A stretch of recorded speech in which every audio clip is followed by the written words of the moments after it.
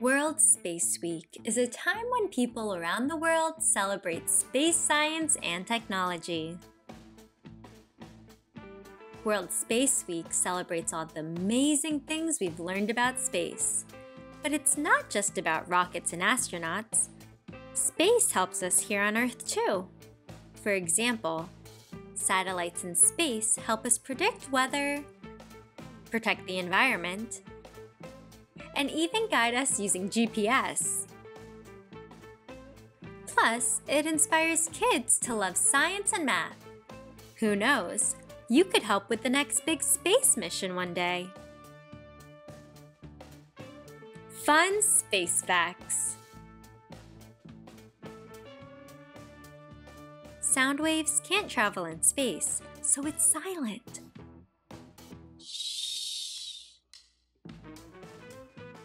On Venus, a year is 225 Earth days, but a day is 243 Earth days, making it a day longer than a year on Venus. 1.3 million Earths could fit into the Sun. What is the history of World Space Week? World Space Week began in 1999 when the United Nations decided there should be a week dedicated to space. Schools, science centers, and space agencies hold events to teach everyone about space during this week. From launching the first satellite, Sputnik, to sending astronauts to the moon, World Space Week celebrates all the big moments in space history. It happens every year on October 4th to October 10th. These dates are important because on October 4th, 1957, the first human made satellite, Sputnik 1, was launched into space.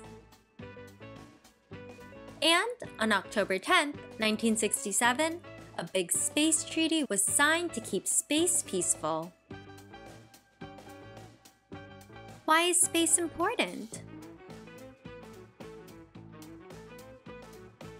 Space helps us understand our planet better. By looking at Earth from space, we can see how the climate is changing, track big wildfires, and even follow storms. Plus, space exploration reminds us to take care of the space around our planet by cleaning up space junk. When rockets are launched, sometimes pieces are left behind and we need to keep space safe. How can I celebrate World Space Week? Throughout the week, there are thousands of events including educational workshops, online lectures, and even opportunities to observe planets through telescopes. These events aim to educate people about space and the significance of cosmic discoveries. If you want to celebrate at home or in the classroom, try out these resources. If you could make your own planet, what would your planet's name be? What makes it special?